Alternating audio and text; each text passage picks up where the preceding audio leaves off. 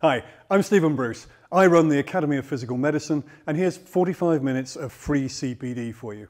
This is just an example of what we do. We run a free session every month, along with 70 plus hours of live Learning with Others CPD every year. If you'd like to see more, click the link in the info section below the video, and that'll take you through to our website. Enjoy!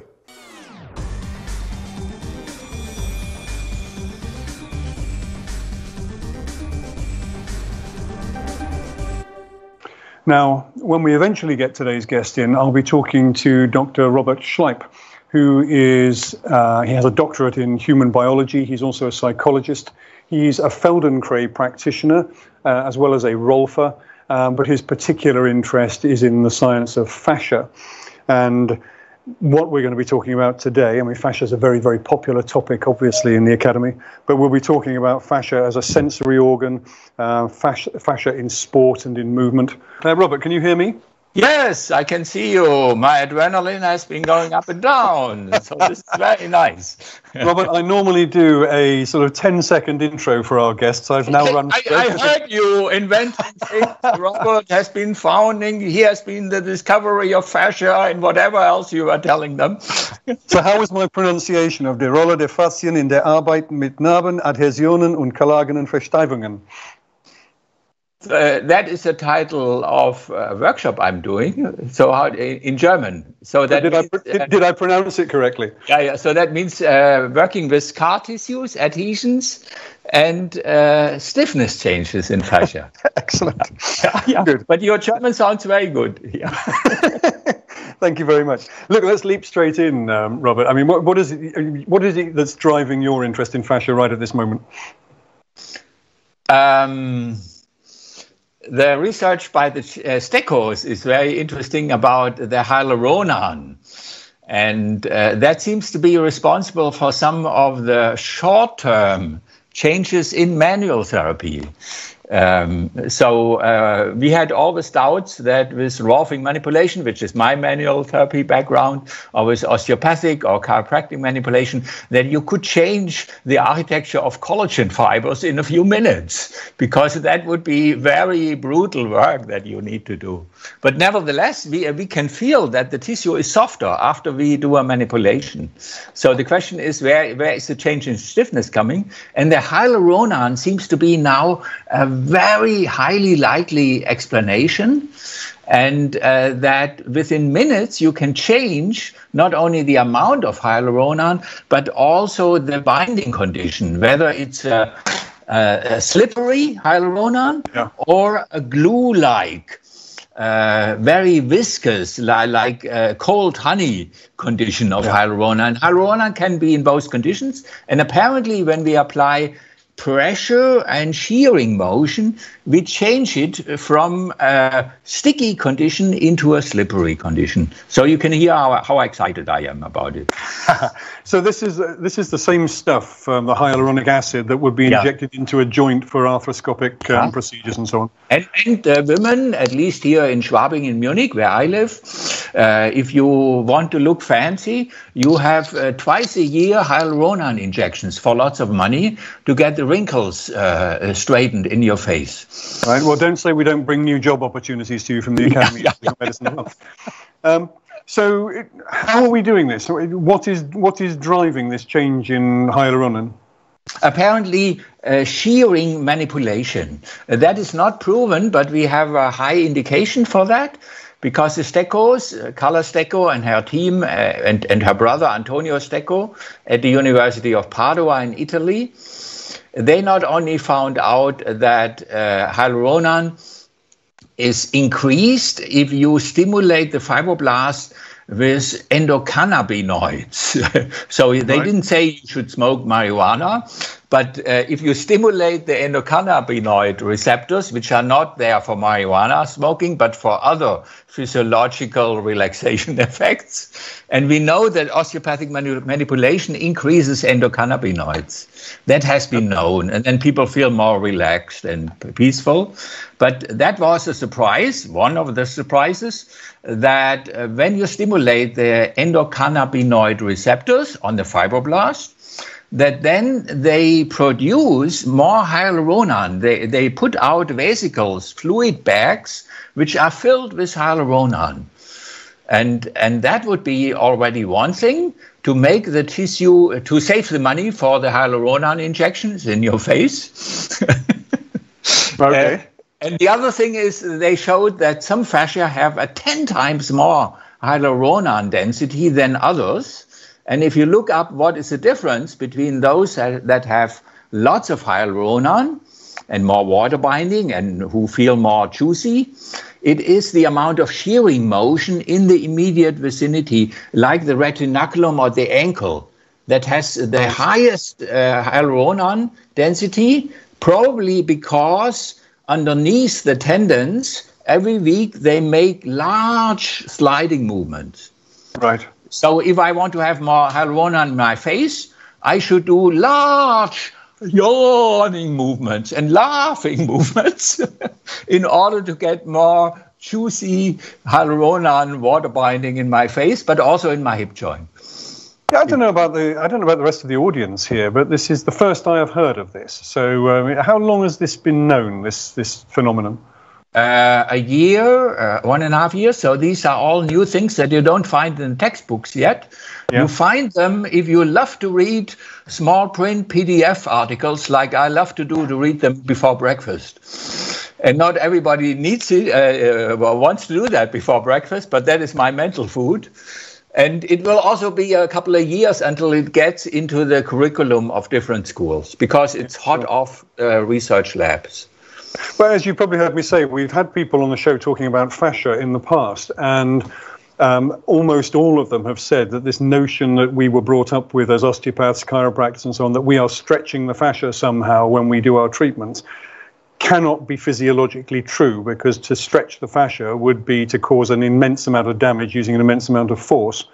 Um, but is making it slipperier sufficient to achieve whatever it was we were trying to achieve by stretching it?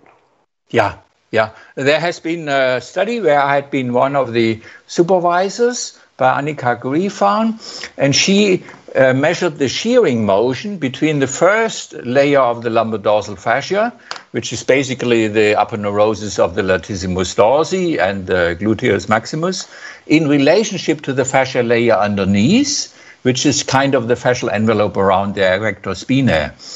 And we know from Helen Langevin's work that they tend to stick together in people who have chronic low back pain. We don't know why, whether that's injury and scarring or whether it's lack of movement or both. But we know this is a very important difference between chronic low back pain patients and normal healthy patients. And yeah. probably that is very plausible. It's it's influencing the lack of proprioception. So if you have a ruffini receptor between the two layers and you go forward to bend your shoes in a normal person you would feel what your lumbar spine is doing and the fascia. But if there is no movement happening before, between, between the two layers, the Ruffini receptor between cannot feel anything. So yeah, yeah. that we know that the adhesion is contributing to proprioception most likely. And the student uh, that I supervised, she did a ridiculous foam rolling treatment, which is very cheap and you cannot compare it with an osteopath, where people put part of their body weight on a foam roller for six minutes, and afterwards there was more sliding motion between it. Right. In a very elegant measurement with, with ultrasound uh, uh, uh, analysis. So we know so there was no movement over the roller; they were just resting on the roller. Yeah, yeah, which is almost uh, a paradox because you're in a roller you are not doing shearing motion very well. You are gluing, you are compressing the two layers. Yep. And you, you could have expected them being more glued afterwards.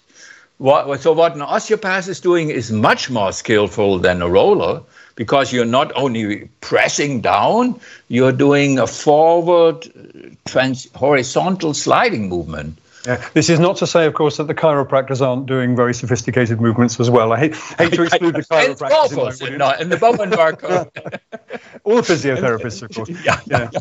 So and the cupping and the cupping people actually. Yes. So cupping would be the opposite of foam rolling. So you, uh, everybody is doing mechanical stimulation, but are you compressing? Are you tractioning? Are you doing either one with a shearing motion? These are the questions that I love to study. And uh, based on the hyaluronan study I mentioned from the Steccos, I would think the shearing motion is an important component.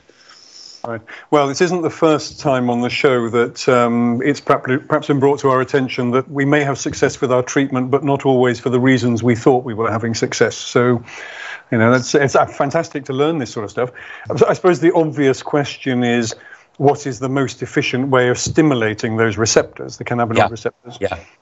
Smoking marijuana is not my favorite. It, it, used to be my favorite style, but I think mechanical deformations. So here I have my new uh, topic. So you would have one fascia layer on top, the dense fascia, and another layer in, underneath. And in between, you do not have an amorphous fluid, you have another fibrous matrix. So if you slide one layer in relationship to the other, it's not really sliding, it's a shearing motion. Because yeah. in sliding, you assume that there is nothing substantial in between.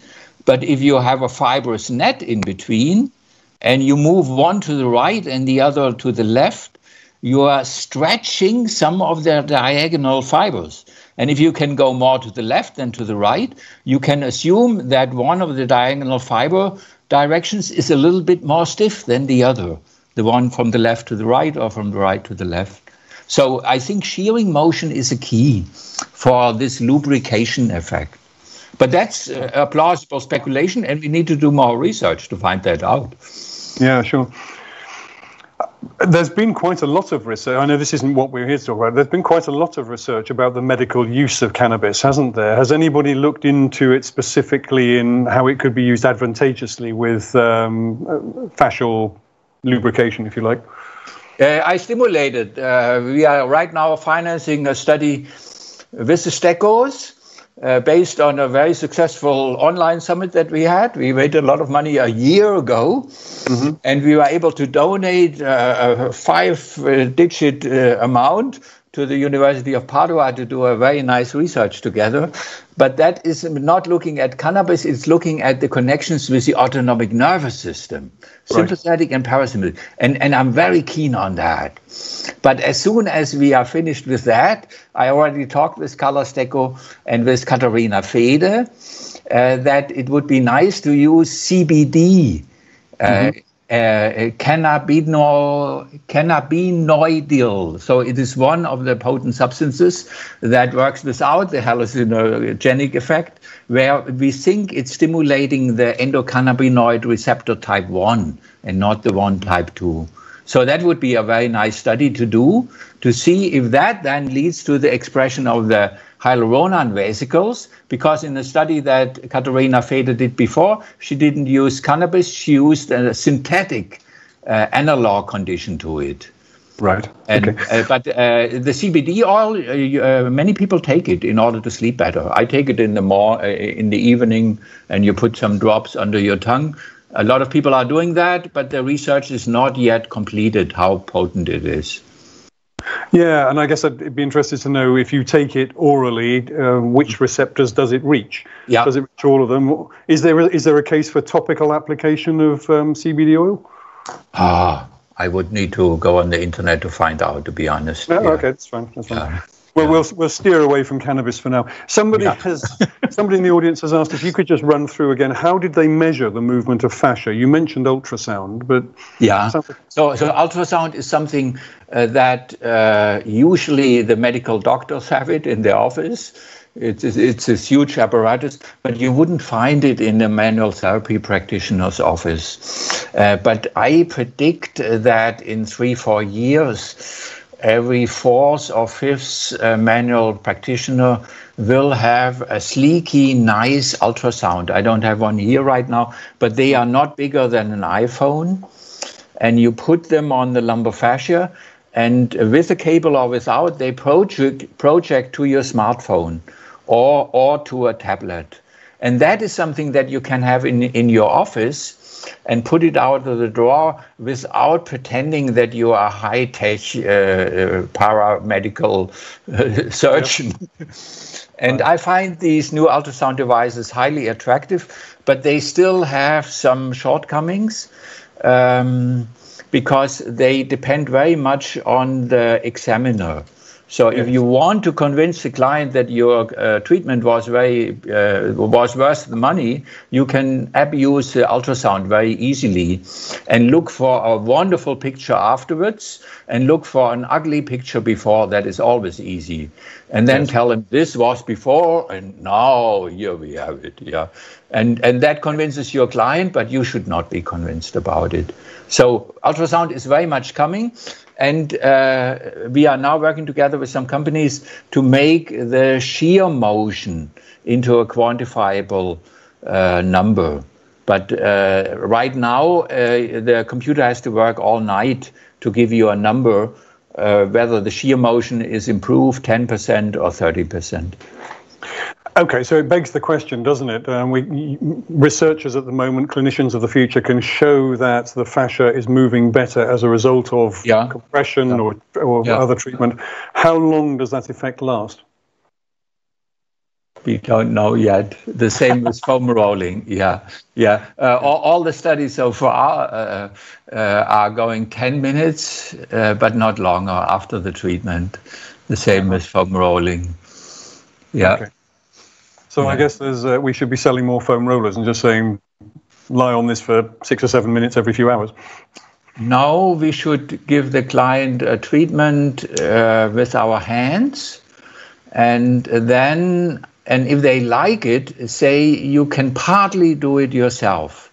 Mm-hmm. And I use my elbow to locate places on their back if they are sitting with their back to me, and ask them to come and meet me. And first they do a clumsy movement, and then I ask him, No, feel where I am, right there, come and meet me. And if they do that, you can see their eyes changing and they're really making contact.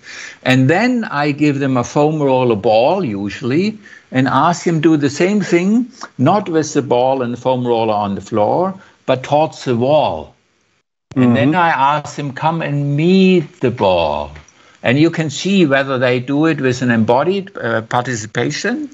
And you also can see which ball is correct for them. The osteopaths, but also many other practitioners, used to, to put two tennis balls into a sock yes. and use them on the occiput. And there you can also instruct the client uh, how they allow their eyeballs to relax towards the occiput if they lie on their back. So all these exercises are very nice if you give them to the client at the end of a very impressive relaxation session. Not if the session was not so good, but if they really liked it, then you can say, here you can do it yourself. And tell me next session how it was. And I may give you a second uh, instrument or a second exercise. And then you give them a, a, foam roller or you tell them this one would be the one for you. You can order it here and bring it to me next session and we experiment together. Okay. Um, I've had another question from Karen that's come in, Robert. Um, she says it would be interesting to, to know if there's been any research on the acupuncture meridian system and fascia. Apparently, it's been observed in dissections that there are little holes in the fascia that correspond exactly to acupuncture meridian points that were charted thousands of years ago, she tells me. There is two studies that I'm aware of that found a high degree of congruence between fascial anatomy places that I'm going to describe and the exact location of the TCM of the traditional Chinese medicine, which is the main system. But you should know that there are minority systems that claim that acupuncture points are elsewhere. But in TCM, they are very exact, and everybody in TCM traditional Chinese medicine yeah. agrees on them. Uh, the first one was from Professor Hartmut Heine here in Germany. He died a few years ago, and he showed that the majority, over 80%, but not 99%, were identical with perforation uh, points of the fascia profunda, so not the subcutaneous fascia, but the first layer of dense fascia underneath, where uh, uh, trias perforans So three vessels go through it, and there are about 100 places on it. Yeah. And that was already impressive. The second one is methodologically higher from Helen Langevin again. And she showed maybe eight years ago that wherever the fascia profunda splits up into a septum that goes deep, for example, in the upper arm, the septum between the flexors and the extensors, between the brachialis and the triceps, there you have more collagen because not only you have the envelope, but from the envelope you have a vertical septum. Yeah. And that's where you can measure where the meridians are. And she also showed that 87%, if I'm correct, of the TCM place, uh, points are exactly where you have these septi. And of course, the two uh, systems agree to a large extent, not to 100, uh, 100%, uh, because the nerves they prefer to travel along the septi because they are they are more injury protected. Yes. Yeah. Okay, so, so there's, a, yeah. there's, some logic in that as well as yeah. um, you know, yeah. ancient research. Um, Lawrence has sent in uh, a question. He says, uh, You're attributing the symptomatic changes from shear motions due to increased lubrication. Mm-hmm. How do you know that it's not due to stimulation of the superficial sensory nerves, causing a sensory nerve stimulation resulting in reduction of symptoms? Yeah, that would be possible. Uh, but maybe I didn't make it clear. We have not shown that the therapeutic uh, application of shear motion uh, improves hyaluronan. That was my hypothesis. Uh, that we, if we do that in the future, we would have it. But we have not shown that in experiments.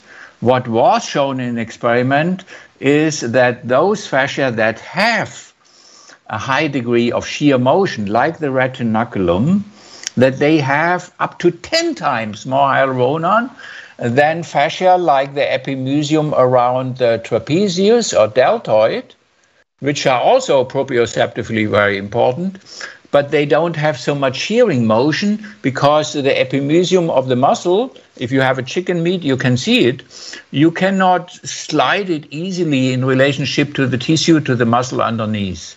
So in the vicinity of the fascial membrane, there is very little sliding, shearing, and therefore, or this goes along with a lack of um, hyaluronan. And on the retinaculum, you have a lot of shearing motion and you have high hyaluronan. And if that is not by accident, then it is likely, but not so sure. Yeah, so he's correct. This is not uh, 100% guarantee, but it is quite likely if you improve shearing motion uh, in your hip joint, in your facial uh, fascia, that you would also in increase the shear mo- uh, the, the the hyaluronan density. For me, it makes sense. Uh, hyaluronan is a lubricant if you practice shearing motion, the body says I, I, uh, uh, uh, that that you need more lubrication there. But if you're stagnant there, the, why should you produce lubrication? Yes. Yeah. Um, I don't know who asked this question, but uh, someone has asked whether it is the lack of hyaluron, hyaluron that makes fuzzy fascia fuzzy. What means fuzzy? I don't ah. know. Ah, okay, maybe. Uh, I, I have, uh, uh, let me see. You said I was sharing slides. Oh no, I don't have it here. no, I was not prepared for this. Uh, but uh, Helen Langevin, again, one of the my heroes in the fascia field, besides Carla Stecco, and uh, she had shown that the two layers of the lumbodorsal fascia are more glued together or more adhered together, less shearing motion in people with chronic low back pain. But in the same uh, analysis, she also showed that the edges of the fascia are more fuzzy or more rugged. So the transition between uh, the second layer of the lumbar dorsal fascia and the muscles is a very sharp and clear line yeah. One is, uh, and uh, in healthy people and in low back pain people, it's a fuzzy, a less contrast rich transition. And that is an interesting observation. So that would speak more for micro injuries than only for lack of movement. Right. Okay. Uh, Robert, can I take you back to something you said earlier on? Camelia has asked about um, your uh, idea of getting patients to meet you or meet their um, yeah. focal balls. Yeah. Can you explain exactly what you meant by that? If she says it, are you talking meet at the point of pain or at the point of a trigger point? It's more proprioception, but it's also, of course, a personal thing. Uh, we know from the two point discrimination examination, there is a tool, a caliper, where you have two pins. Mm-hmm. And if you have 10 centimeters between them and you touch the client carefully on their back, and you ask them, is this one pen or is it two pen? Most of them can feel that it's two pen even if they touch you exactly at the same second, if it's 10 centimeters apart. With three centimeters or with two centimeters, none of the clients can tell that it's two. On your back, on their lips, it would be different. So, two point discrimination is a very accurate measurement for proprioceptive refinement on different body locations. And we know that myofascial pain, not all kinds, but particularly low back pain and also whiplash, goes along with uh, deterioration or less refined proprioception in that area where they have the pain, not in the rest of the body.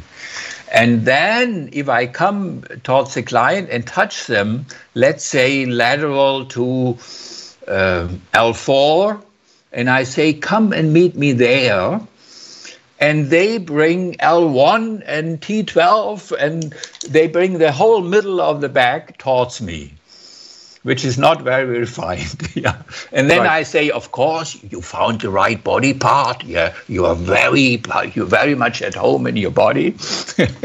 but can you be more precise? Can you? I'm here. I'm not there. I'm here. See right. if you can feel where I am, and they don't see it. And tell me that you are in contact with me there. And then they do again a big clumsy movement. I say, wonderful, you are in touch with the body. And the third or fourth time, they can move an area which is like three finger pads, like five, six centimeters large, towards you. Right. And, that, and then I'm touched. I feel like they are on the same level of sensitivity as I am. And, and this is a therapeutic value. yeah, so so that is very much influenced by my Feldenkrais background mm. and Thomas Hanna background, where you're not changing the physical body, but the embodiment from the inside. How much a client is at home and has a sensory refinement inside of their body, and and I think that is a totally underestimated. No, not totally underestimated, but a richer uh, aspect of manual therapy than those people who are not engaging the client and only treating them. Let me free your fascia. You you can daydream as much as you want. Why so so why don't you uh, talk with your wife on the phone? I, I can fix your psoas because I'm doing it. So if you engage the client with their mindful attention to be not in daydreaming but right at your fingers you may be able to differentiate the image they have uh, about their body, where the lower back is not just one wooden board, but it, mm. where, where it has very different areas of expression. Okay. Um, Daniele's asked a question about whether what you've described or how what you've described relates to neuromuscular technique uh, and or trigger points because he says it sounds like it might be an explanation or part explanation for the physiological results in both of those um, uh, concepts.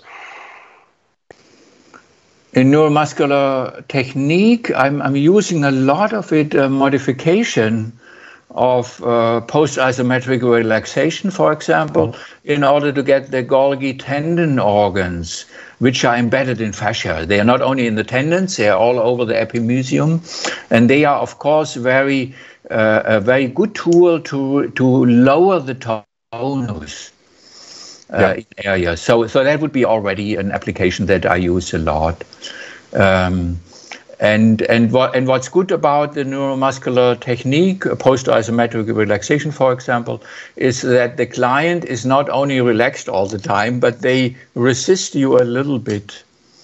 So so you ask him to resist, resist, and then to let go, and they feel the difference. So that for me is a very good avenue, not so much to reach the spindles or the Ruffinis, but the Golgi receptors. Yeah.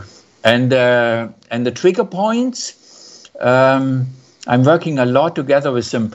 I would have loved to say uh, it is the fascia that is tied in trigger points, but most experts agree no, it's uh, it's uh, uh, how do you say a rigor mortis uh, like contracture of muscle fibers at the mm-hmm. at that point itself, and that you have an oxygen crisis there. But the question is, why does this oxygen crisis uh, start to develop there? And there yeah. you have the so-called taut band, which is a larger area of stiffness increase. And there we are looking most likely at a stiffness increase in the perimysium, in the intramuscular fascial tissue.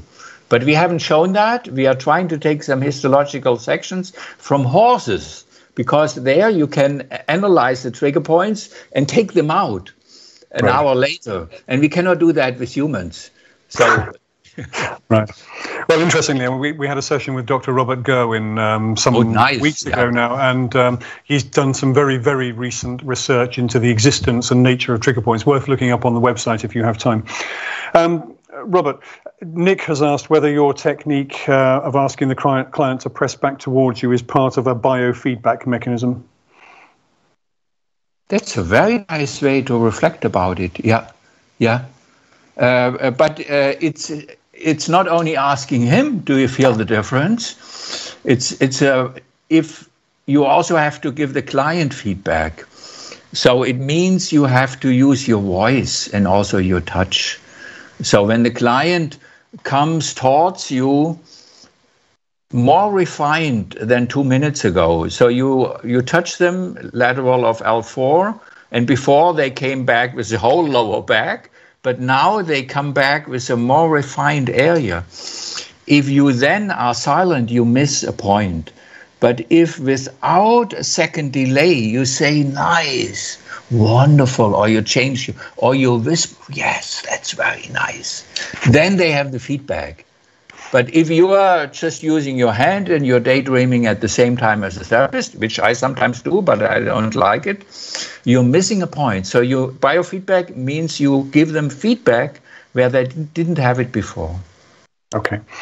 Um, I'm rushing through this because, of course, we, we are running short of time already. Um, Mike has asked whether what you've described would be applicable to treating people with thickened fascia, and he cites eosinophilic uh, fasciitis. I have never had a case of that. I'm, I'm, I'm, I'm looking forward. Ulm University knows that when they have a patient, they, they, they should be asking me. Yeah, so there are some conditions where the fascia is really thick and, and really stiff. Uh, so I know about. Mike, Mike, if you have a patient with this condition, call me. Call Ron. to send them.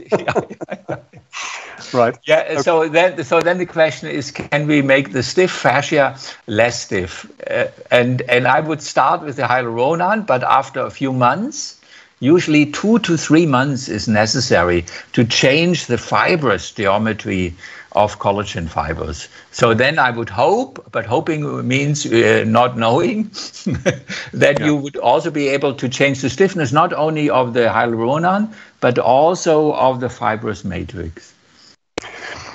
Thank you. Uh, Robert, um, uh, we had a, a, speaker on Tuesday evening, um, Dr. Anne Jensen, who's a chiropractor practicing in um, Australia.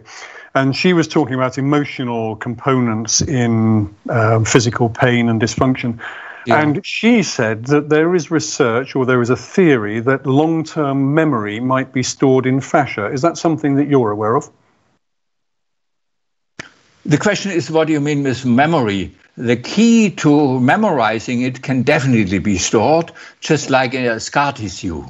Mm-hmm. And that has been shown. So after you were injured, not only is your architecture changed for years afterwards, and then when you look at the scar and you feel the scar, the memory comes up.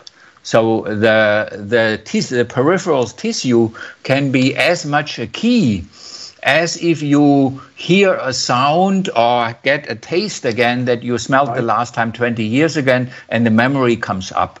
But yeah. then the photograph or the taste that you have when you hear the sound of your of the door at your grandmother's house is not the storing of the memory. It's the key to elicit the memory, which is stored in your brain and the central nervous system. Yeah. And that is a much more simple explanation why people, when you work around an injury site, suddenly they remember something where they didn't have access for the last 30 years. But in terms of state dependent memory, the storage is still in the brain. Right. But the key is hidden in the fascia, and you give them the key to that. Right. Uh, and is that perhaps is that sort of through some nociceptive feedback to the brain, or yeah. stimulating yeah. that memory? Yeah. yeah. Uh, another one is uh, a chemical condition there, uh, NGF neurotrophic growth factor. Uh, my colleague, uh, Professor Mense, he has injected it into himself. And that is usually, and I would love to do the same thing, uh, because that is usually expressed if, if you have an injury, not only if the first time, but a second time. So if you get a drastic injury, uh, then you don't have so much uh, NGF, but within one or two weeks, you, you get a ridiculous re injury again. And then you have this memory effect because the body then expresses this neurotrophic growth factor, which is very beneficial if you're a child and you want your nerves to grow, but it makes you very much uh, pain sensitive. So if you have NGF in your jaw, even yawning is painful to you. And that stays for weeks within the tissue. So that is definitely a chemical condition that you have if you have a, re a, repeated injury condition in the tissue. And then the question is, can we lower the NGF in the tissue? Probably by increasing microcirculation. So with lymph drainage or with going jogging, etc. But, but that is a very good explanation why even weeks later, ridiculous everyday movements are hurting you not because you have more mechanical stretch, but the NGF is lowering the threshold what feels painful and what uh, and what does not yet feel feel painful. So that would be a second uh, biochemical threshold that you can lower in the periphery, and you don't need the central nervous system in order to make that difference. Robert, uh, we have made a big mistake getting you on our lunchtime show, I'm afraid, because 45 minutes, and certainly 35 minutes isn't enough to discuss fascia with you. And i have got so much i have so much feedback from the audience saying how much they would like to hear more from you. It's such a delight to talk to somebody who is so enthusiastic and passionate about a topic quite apart from anything else. Mm-hmm. um, but if we if you could spare the time i'd love to get you back in because there are still so many questions coming in here. And i know there's so much more you could talk to us about